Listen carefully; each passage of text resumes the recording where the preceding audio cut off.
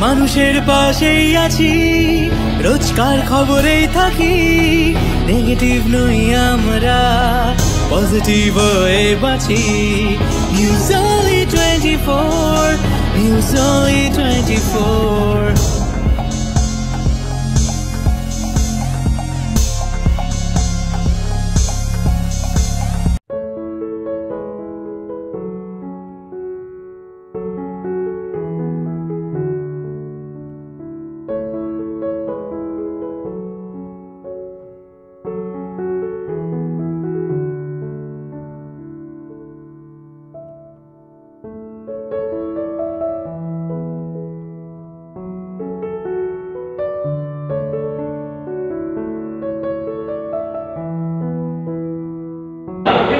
রনিদা actually photographer নয়।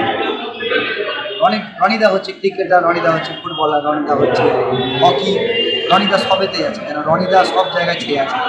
তো খারাপ আজকের দিনটা সত্যি আমার কাছে খারাপ দিন আমি ভাবতে পারিনি এরকম একটা দিন আমাদের দেখতে হবে। অনেক অনেক অনেক ইন্ডিয়ান টিম থেকে শুরু করে কোন জায়গায় ছবি নেই রনিদা। শুধু আমাদের ইন্ডিয়া নয় আমাদের ক্রিকেট আমরা যখন ফুটবল খেলি যখন অফিস খেলায় সেখানেও রনিদা পৌঁছে যায়। মানে আজকের দিনটা যেরকম যেরকমভাবে চলে গেলে আঘাত ওনার ওয়াইফ বেরিয়েছে আমাদের দিকে ওদের সঙ্গে আমাদের ভালো সম্পর্ক ছিল। এটুকু বলব হয়তো দুজনের করে এই মুহূর্তে একসাথে আছে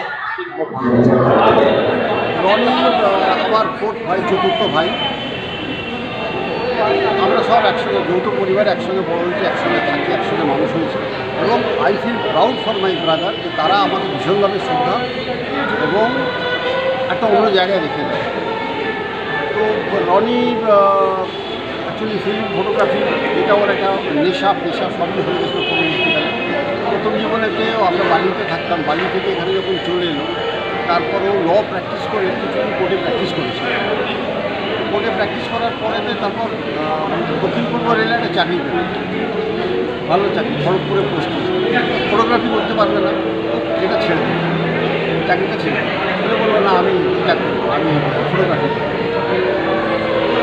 মাটি পাবন ছেলে ছিল, মাটি মাটি করে মাটি করে থাকতো তারপর ওর জীবনের পিঙ্কি আসে। পিঙ্কিকেও বিয়ে করে।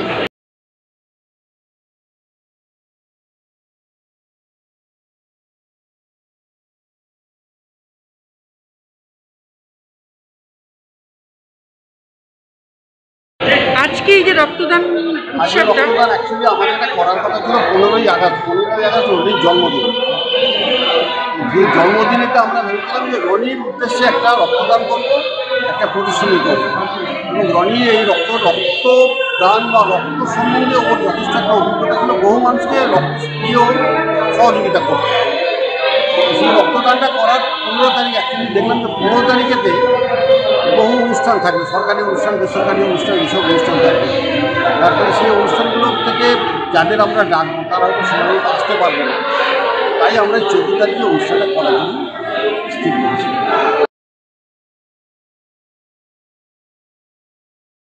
মানে রক্তদান রনিমায় মানে সমস্যা রনিনায় মানে উচ্ছ্বাস রনিনায় মানে জীবনের আনন্দ। সেই আনন্দ হারিয়ে যাতে না যায় রনির স্মরণে আজকে এটাই সবচেয়ে বড় কথা, আনন্দ বেঁচে থাক। রনি আমাদের মধ্যে বেঁচে থাক, তার চিত্ত প্রদর্শনী আমাদের মধ্যে বেঁচে থাক, তার খেলার যে চিন্তন চেতনা, তার ভাবনা আমাদের মধ্যে বেঁচে থাক। অবস্থা সারা বিশ্বব্যাপী সেই কোভিডে আমরা একটা সুন্দর একটা ছেলে প্রতিবেশী আমাদের, আমার ছোট ভাইয়ের মতো, পুরো পরিবার, আপনি সবাই জানেন বাবা ছিল বিজয়রা খুব অমায়িক মানুষ ছিল। তাদের পাঁচ ভাই, পাঁচ ভাইয়ের মানসিকতা ঠিক বাবার মতো। তো রনি যখন এরকম একটা ঘটনা ঘটলো রনি আমরা তো স্তম্ভিত হয়ে ভাবছি একটা রনির মতো ছেলে মরে গেল। তো আমরা যে একটা ধর্মীয় বিশ্বাস করি তো ঠাকুরের উপর দোষ দিলাম। ঠাকুর তুমি এর এত এত ভালো ছেলেকে মেরে দিলে তুমি? ইমোশনে তাই করবে সুতরাং রনি মরে যাবে আমাদের কোনো ভাবতেও পারিনি এই সময় এইভাবে